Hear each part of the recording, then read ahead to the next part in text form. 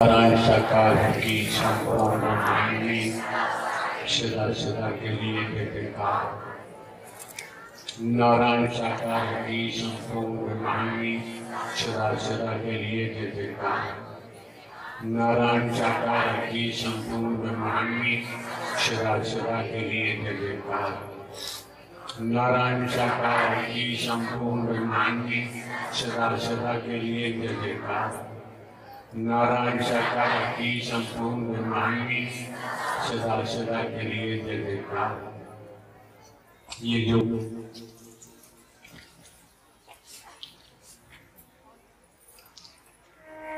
अनगिनित आप महापुरुषों की तादाद जो हम इस मानव मंगल मिलन सद्भावना समागम में उपस्थित है, आपकी मौजूदगी है। खेती बाड़ी नौकरी व्यापार घर परिवार से अवकाश लेकर आप यहाँ इस मानव मंगल मिलन सद्भावना समागम में पहुँचे तो श्रीमान जी, आप समस्त महापुरुषों का दायित्व बनता है, जहाँ भी स्थान मिलता है, तन तन्मयता आत्मीयता से आसन ग्रहण करते हुए एक एक शब्द को मन लगा के श्रवण करें, ठीक से सुनिए। मौके बार बार नहीं मिलते समय बार बार प्राप्त नहीं होता है। एक बात हम आपको अवगत कराना चाहते हैं। जब आप यहाँ सत्य के साथ में पहुँचे हैं, पहले सत्य हम स्वयं को जानो अगर आप संसार को जानते रहेंगे तो स्वयं को भूल जाएँगे। और जब स्वयं को आपने जान लिया कि मैं कौन हूँ मैं आया कहाँ से? हूँ, मेरा रूप क्या है? मेरा स्वरूप क्या है? मुझे क्या करना चाहिए? मैं कर क्या रहा हूँ? वो main body I am soul ईश्वर सजीव अविनाशी ये बात समझ में आ गई। ये कब परिपक्व रूप से समझ में आएगी उसके लिए स्लोगन पहले ही उजागर किया जा चुका है। मानव धर्म सत्य था है और मानवता भाईचारा, अनेकता में एकता, मानो मानो को गली लगाना, मानो मानो से प्रेम करना। आपने जो अपनी पहचान बनाई हुई है, माँ के उदर से आपका जन्म हुआ।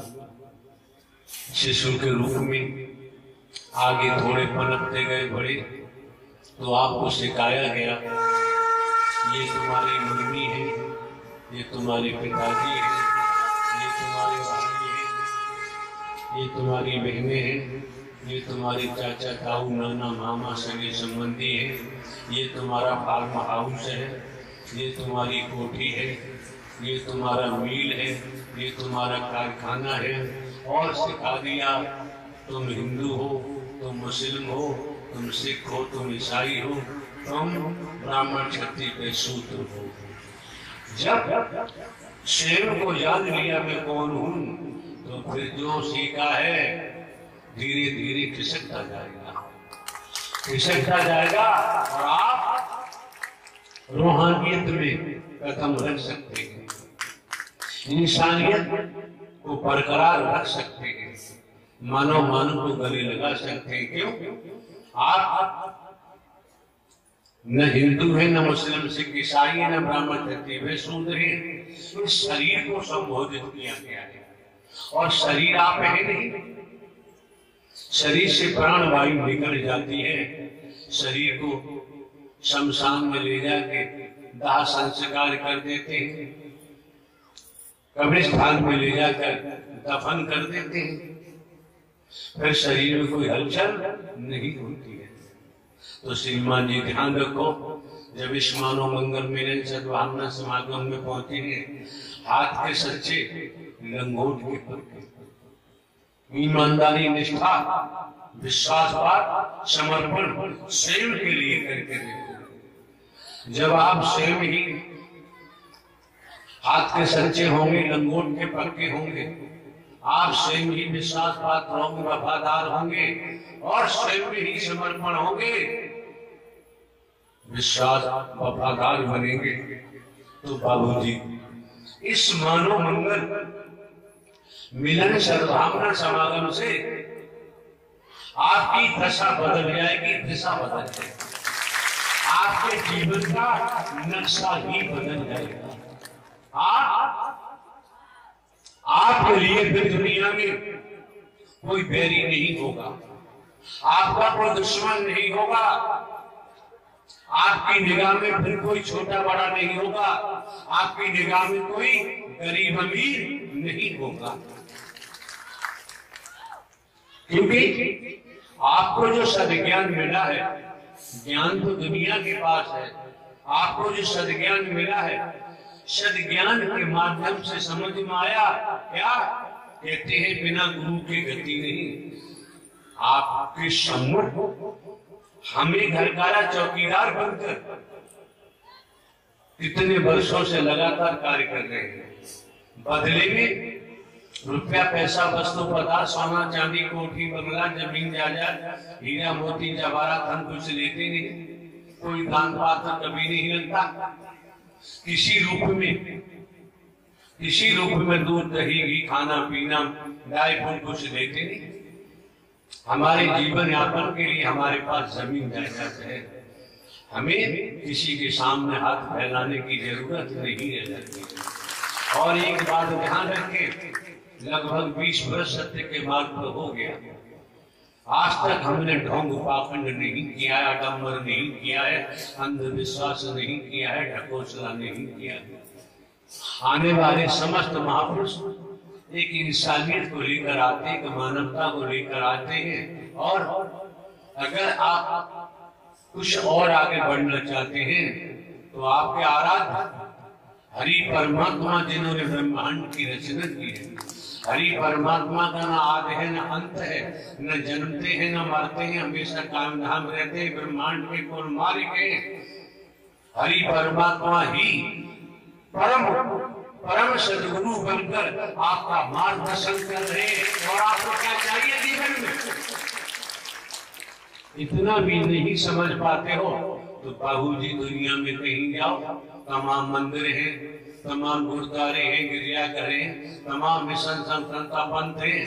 वृंदावन जाओ, विश्वनाथ काशी जाओ, हरिद्वार जाओ मन चाहे जहाँ जाओ मन चाहे ना जाओ कि आध्यात्मिक मार्ग में दो ही बातें हैं। पहली बात है मनमुख दूसरी बात है गुरमुख। अगर आप मनमुखी है तो दुनिया में कहीं जाओ, बाबूजी जीवन सफलता की तरफ़ प्राप्त नहीं होगा। और अगर आप गुरुमुख, गुरु के मुख से जो निकला और सुना, वो कर्म में ढाला तो बाबूजी आपका जीवन ही बदल जाएगा। आपके चाल चलन बदल जाएँगे। आपके परिवार में, आपके जीवन में खुशहाली होगी, आपके जीवन में आनंद होगा और खेती बाड़ी नौकरी, व्यापार करते हुए आप अपने को धन्य महसूस करेंगे कि परमात्मा ने हमें नारी का जीवन दिया है। आज हमारा सदज्ञान प्राप्त करके जीवन धन्य हो गया है। आपको जीवन जीने की कला प्राप्त हो जाती है।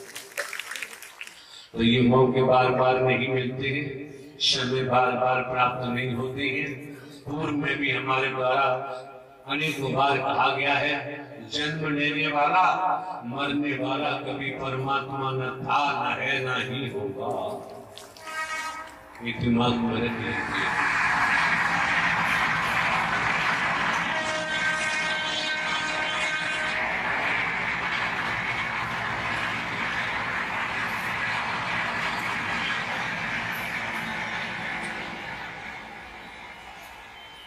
समय मिला है, मौका मिला है, वक्त मिला है।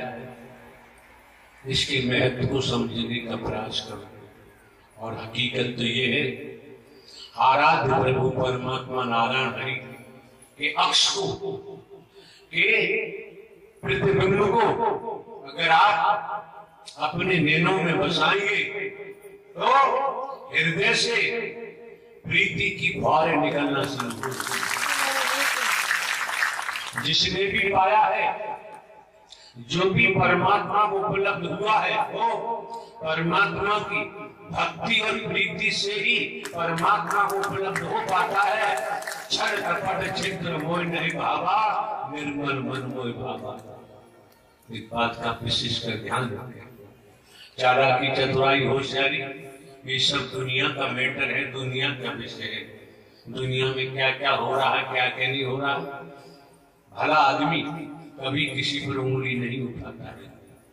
सज्जन पुरुष कभी किसी के लिए दूषित मंतव्य विचार प्रकट नहीं करता है। वो स्वयं के जीवन को देखता है और जहाँ से आज्ञा मिली है, प्रभु परमात्मा की, उस आज्ञा को सिरोधार कर, जीवन व्यतीत करने लगता है। परिवार में रहकर खेती बाड़ी नौकरी, व्यापार करते हुए। चलोगे तो जीवन धन्य हो जाएगा। दूसरे मायनों में देखें, अभी आपने सुना? देखो, सीधी सी बात है, तमाम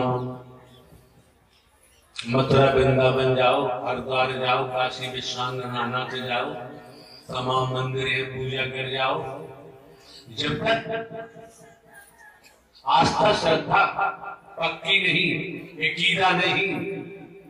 तो बाबूजी समझ लीजिए, आध्यात्मिक के नाते जमाने में जहाँ भी जाओगे आप, आपको ठोक पाखंड डंबर अंधविश्वास से ही मुकाबला करना पड़ेगा। इस मानव मंगल मिलन सद्भावना समागम में आज तक ढकोसरा भेदभाव को कोई स्थान नहीं दिया जाता है। और आप पहले से जानते हैं स्मरण कराते हैं। हम तो मात्र चौकीदार बनकर आवाज़ देते आए हैं, जागो, जागते रहो। अंग वस्त्र आप देखते हैं शुरू से अब तक। हम कोई साधु संत, महात्मा तो है नहीं। हम कोई बाबा वगैरह भी नहीं कथावाचक भी नहीं, उपदेशक भी नहीं। हम कोई स्पीच नहीं देते। हरि परमात्मा, साकार की रहमत रहमत है। रहमो कर्म है, जो आपके सम्मुख सच्चाई के सत्य के दो शब्द आ जाते हैं, दो बोल आ जाते हैं। और आपके आने जाने से ही आपको लाभ होता है, हानि होती है तो आप यही जानते हैं। आप यही समझ सकते हैं। और किसी से पूछने की ज़रूरत, आवश्यकता नहीं रह जाती है। संत मत भी कहता है, वेदों में, शास्त्रों में, पुराणों में भी आया, हमने सुना है। माया मरी न मन मरी, मर मर जात शरीर। आशा तृष्णा न मरी, कह गए दास। संत मत भी कहता है। वेद, शास्त्र, पुराणों में भी आया है। आए कई घाट से उतरे, कई घाट अपने अपने कर्मों से हो गए वाला। समझना चाहिए। जब मौके बार बार नहीं मिलते हैं। इसीलिए तो संत गोस्वामी तुलसीदास ने तुलसी की रामायण में अंकन लेख लिखा है कि संत समागम हरि कथा तुलसी दुर्लभ दौरे सुत धारा और लक्ष्मी पापी के घर हो, स्पष्ट कर दिया है।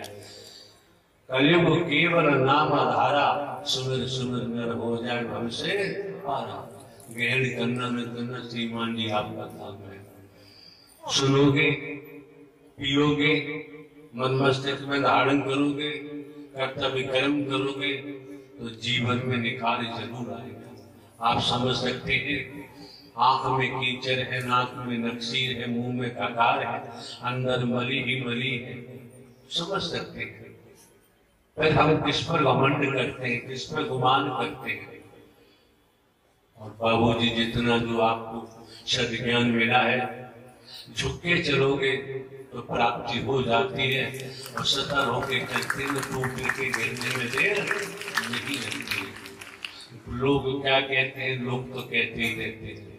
लोगों को काम के नेता है। हमें तो जो मानवता से संबंधित शिक्षा मिली है, जो सदज्ञान पाया है, उसका अनुसरण करना है, अनुकरण करना है, फालतू बातों में फंसने की ज़रूरत नहीं है।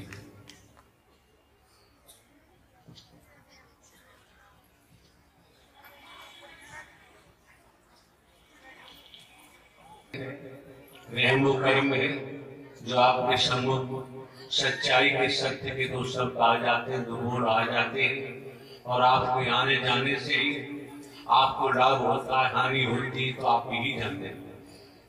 आप यही समझ सकते हैं और किसी से पूछने की ज़रूरत, आवश्यकता नहीं रह जाती है।